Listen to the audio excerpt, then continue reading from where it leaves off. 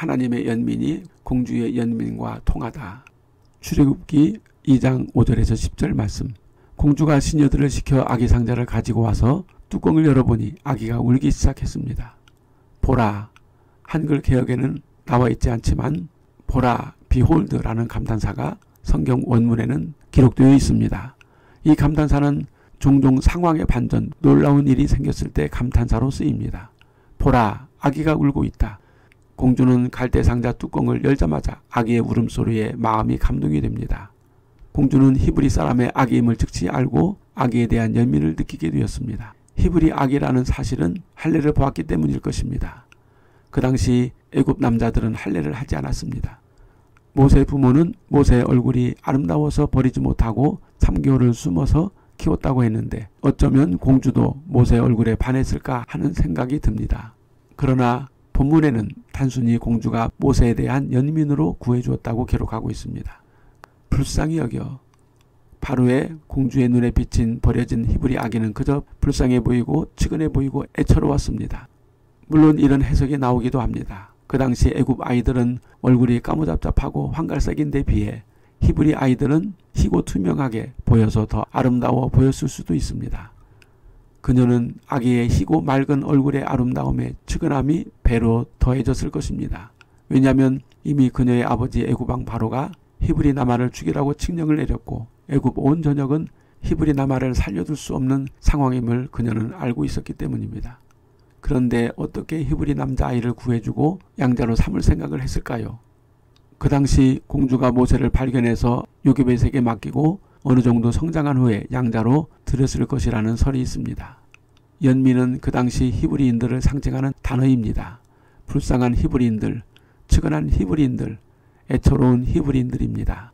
하나님의 언약을 받고서도 애굽의 종로로 타며 학대받을 뿐만 아니라 남자 아들을 마음대로 낳을 수 없고 낳은 남아들을 강물에 던져버려야 하는 비극적이고 처참한 삶을 사는 민족이 바로 히브리인들이었습니다.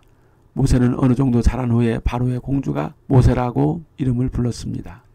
모세는 물에서 건져냄 drawing out of the water 이란 뜻입니다. 모세는 그 당시 히브리인들의 처지와 똑같았습니다. 히브리인들은 모세처럼 사망의 물 속에서 건짐을 받고 구원받아야 할 족속이었습니다. 하나님께서 히브리인들을 불쌍히 여기셔서 건져내야 하는 자들이었습니다. 하나님의 연민이 공주의 마음에 닿았을까요? 하나님의 연민과 공주의 연민은 히브리인들과 모세를 이어주는 끈이었습니다.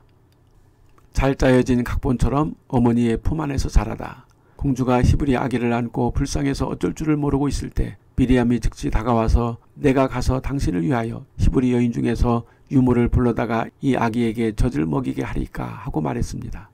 마치 잘 짜여진 각본처럼 어떻게 그렇게 빨리 신속히 일이 잘 진행될 수 있을까요? 분명히 불행한 끔찍한 반전이 올 수 있는 매우 위험한 상황이었습니다. 혹시 바로의 공주가 미리암이 불쑥 나타났을 때 의심할 수도 있었고 미리암의 제안을 거절했을 수도 있습니다. 그런데 마치 연극처럼 잘 짜여진 각본처럼 모세는 바로의 공주에게 건짐을 받았고 미리암은 모세의 유모를 제안했고 공주는 즉시 허락했고 모세는 엄마인 요게벳의 품에서 아무런 간섭도 방해도 없이 공주의 보호 아래서 건강하고 지혜롭고 아름답게 잘 자랐습니다. 이런 일이 평범하게 일어날 수 있을까요? 이렇게 모든 조건이 100% 맞아 떨어질 확률은 거의 없다고 주석가는 말합니다.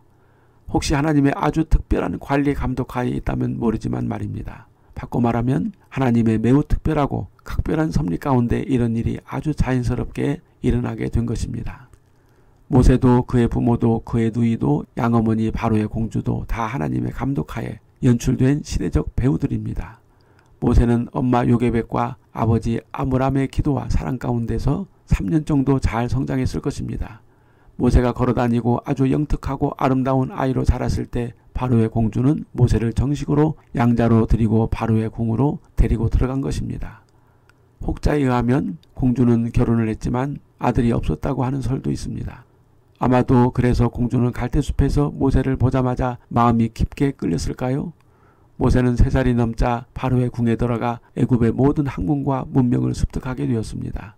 영특한 모세는 누구보다도 바로의 공주의 사랑하는 아들로 살아났고 애굽의 바로가 되어도 전혀 손색이 없는 걸출한 인물로 성장하게 된 것입니다.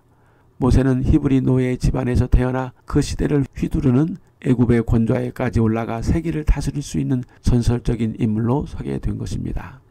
모세라는 이름 모세는 건짐을 받았다는 뜻이며 모세 출생과 운명을 그대로 담은 이름입니다. 그런데 공주는 단지 물에서 건짐받은 모세의 운명만을 생각해서 모세라고 지었을까요? 모세라는 이름은 히브리어이기도 하지만 혹자는 애굽 이름이라고 합니다. 그 당시 모세가 애굽어로 물에서 건져냈다는 뜻이 있다고 합니다. 뿐만 아니라 모세라는 이름은 애굽에서도 많이 사용되는 이름이기도 했습니다. 모세의 뜻은 정확히 말하면 그녀가 물에서 그를 낳았다라는 뜻입니다. 모세는 공주가 물에서 낳은 신화적인 아들이었습니다. 우리가 애굽의 18왕조를 투투모세라고 부르는데 여기서 모세는 신격을 가지고 태어난 이란 뜻과 본래 뜻인 물에서부터 태어난 이라는 두 가지 뜻을 가진다고 합니다. 모세의 출생 비화도 있습니다. 요세푸스에 의하면 모세 아버지인 아므람은 그의 아내가 임신했을 때 아이에 대한 환상을 보았는데 그 아이가 후에 히브리 민족을 어떻게 구원할 것인지에 대해 알게 되었다고 합니다. 모세는 어른스러운 아이였는데 지나가는 사람들도 아이의 기품에 매료될 정도였다고 합니다. 애굽이 에디오피아에게 공격을 받았을 때 모세는 신탁에 의해 애굽의 지도자로 지명되어서 침략자들을 무찌르고 그들의 수도의 입구까지 추격했다고 합니다. 역사 기록에 의하면 모세는 학구파였고 생각이 깊은 아이여서 애굽 점술가들이 그에게 상용 문자로 된 수학, 지리, 음악, 철학을 가르쳤으며 뿐만 아니라 아시리아 문자, 갈대아 천문학을 배우고 사도행전 7장 22절에 보듯이 애굽의 모든 지혜를 섭렵했다고 합니다. 상위 그룹의 애굽 교육은 도덕과 세련된 매너, 읽기, 쓰기, 창작, 수학 등 많은 것들을 복합적으로 포함합니다. 그러나 만일 모세가 정말 애굽의 모든 지식을 배웠다면 히브리인 관점으로 볼 때 그것들은 얼마나 불쾌한 것들인가를 알게 되었을 것입니다.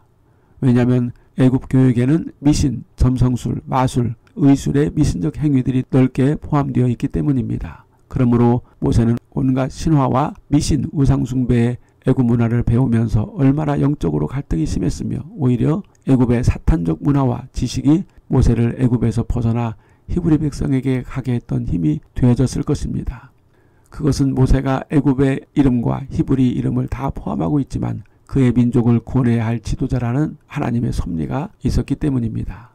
그는 어려서 어머니 요게벳의 젖을 먹으면서 아브라함과 이삭과 야곱에게 주신 하나님의 언약을 들었을 것이고 아버지 아므람으로부터 애굽의 종로로 타는 히브리인을 구할 자가 바로 너라는 말을 너무나 많이 들었을 것입니다.